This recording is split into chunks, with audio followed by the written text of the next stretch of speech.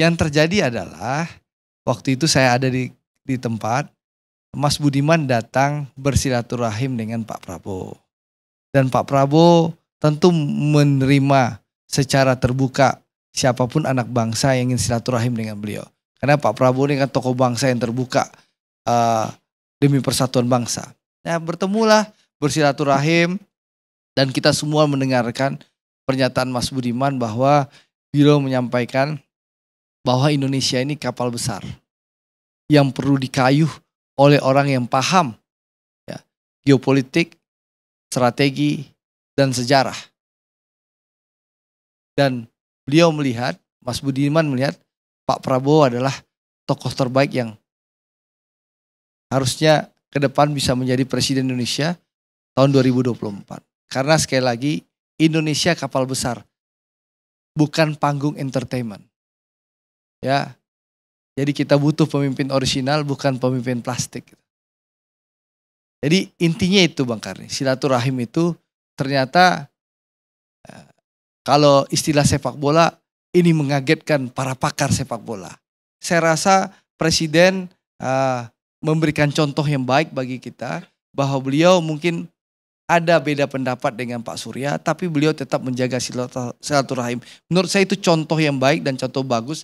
Ya ini tradisi-tradisi silaturahim harus kita jaga. Bahkan Pak Karni, Pak Prabowo sampai sekarang masih menunggu waktunya Ibu Mega untuk Pak Prabowo bisa bersilaturahim. Karena apa? Meskipun Bu Mega dan PDI Perjuangan punya Mas Ganjar sebagai calon presiden, kami Partai Gerindra punya calon presiden Pak Prabowo. Tapi kita terus menjaga komitmen persatuan ini. Kita harus menjaga komitmen kebangsaan ini. Belum diterima juga oleh Bu Mega. Kita masih menunggu karena Mbak Puan dan Mas Hasto lagi uh, berkomunikasi dengan Ibu Mega untuk mengatur jadwalnya. Kakak udah lama minta. Ya Pak Prabowo sudah berbulan-bulan minta. Yang jelas komitmen Pak Prabowo untuk bertemu. Dekat dulu. Oh iya dekat.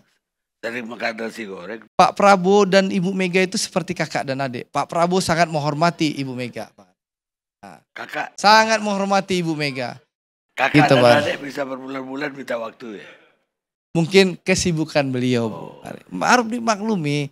Bu Mega kan tokoh bangsa, tokoh besar, mantan presiden mungkin punya kesibukan. Yang jelas Pak Prabowo sudah siap untuk bersilaturahim dengan Bu Mega. Ini bukan ada kaitannya dengan Pak Ganjar.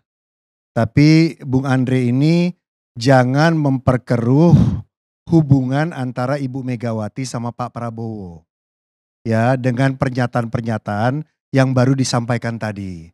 Kita kan ingin agar hubungan beliau berdua yang memang sudah baik tidak usah dihitung-hitung dengan mengatakan udah nunggu dua bulan. Udah lama, udah menyampaikan masih menunggu gitu ya. Seolah-olah framing bahwa Ibu Megawati tidak mau menerima. Ya kan? Lalu ditambahin lagi sama Pak Karni. Ya kan katanya kakak adekku susah banget bertemu. Saya kan gini-gini kan paham-paham dikit-dikit gitu ya. Artinya framing-framing seperti ini janganlah sampai kita merusak hubungan Pak Prabowo dan Ibu Megawati yang memang sudah sangat baik gitu ya. Kalau memang belum ketemu pastikan ada alasannya, pasti ada kegiatannya. Kata orang bijak dari orang Batak itu mengatakan bahwa lama itu ada yang ditunggu, cepat itu ada yang dikejar. Gitu kan ya. Jadi maksud saya kita di sini sabar-sabar aja.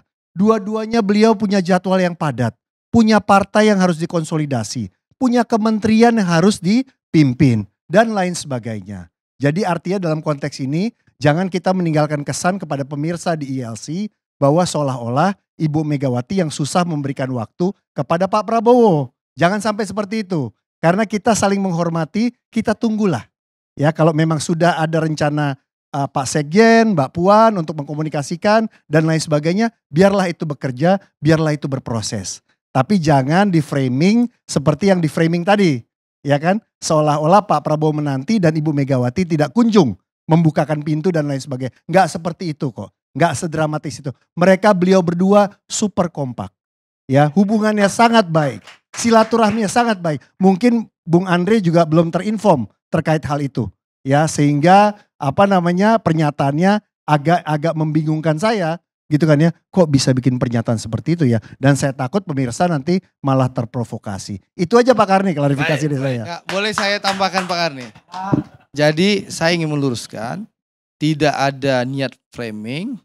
Mungkin Bang Putra terlalu sensitif sehingga berprasangka buruk gitu loh. Saya menyampaikan tadi bahwa Pak Prabowo sudah meminta waktu kepada Ibu Mega. Sudah diatur oleh Mas Hasto dan Mbak Puan. Itu jawaban kami. Nah, Bang Karni yang bilang, kok sudah lama belum? Ya kita sabar menanti karena mungkin Bu Mega punya kesibukan karena beliau ketua umum partai besar dan juga mantan presiden. Ada kata dua bulan tadi kalau nggak salah kalau mau di rewind. Ya, Ya berbulan ya. ini kan sudah dari iya. karena pertanyaan Pak Ini pakar komunikasi politik ada di sini Pak Effendi Ghazali. kan dua bulan tadi kan? Iya kan? Kan karena Pak Karni. Da- Datuk Karni Ilyas Datuk yang bilang tadi bahwa apa namanya kalau kakak beradik ya masa udah dua bulan Yang Jadi- mengatakan pakai bulan, Ya. itu Andre. ya terus Ya. kemudian Saya mau mengklarifikasi jangan kita rusak hubungan baik kedua pemimpin itu. Dan terakhir Pak Karni, terakhir soal kader kami yang namanya Mas Budiman. Kan dari tadi kan disinggung-singgung ya. Kan saya nggak ngomong sama sekali ya terkait hal itu. Jadi Pak Karni, kenapa enak ngomong sama Pak Karni karena kita sama-sama dari redaksi. Kalau yang namanya sudah ditetapkan agenda setting, kita tuh taat.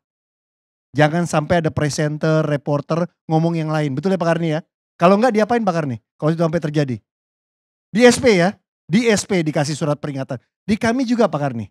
Kami diajarin sama Ibu Megawati lima disiplin. Ya, kami diajarin disiplin berpikir, disiplin bertindak, disiplin bicara, disiplin komunikasi, dan disiplin waktu. Itu aja Pak Karni. Saya mau kasih tahu tentang bagaimana yang dilatih dan diajarkan di PD Perjuangan. Ada yang melanggar itu. Kenapa? Ada yang melanggar itu. Saya bukan DPP Pak Karni. Ya kalau di redaksi saya reporter Pak Karni. Siap. Bukan pengambil keputusan gitu ya. Jadi itu aja yang saya mau ceritakan.